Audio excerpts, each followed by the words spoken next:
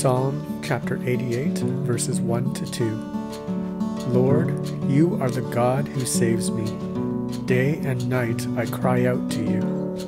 May my prayer come before you. Turn your ear to my cry.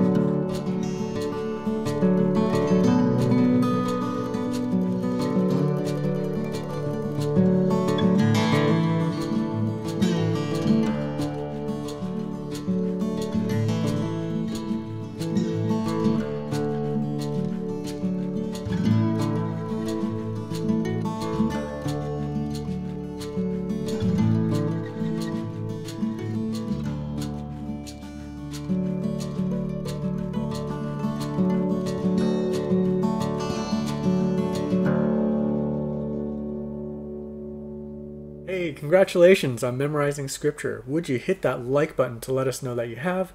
And also, it'll let others know that this is a good Bible verse to memorize as well. If you haven't already subscribed to the channel, please do. You can do so by hitting the logo right beside me. Thanks again for watching, and may the word of Christ dwell in you richly.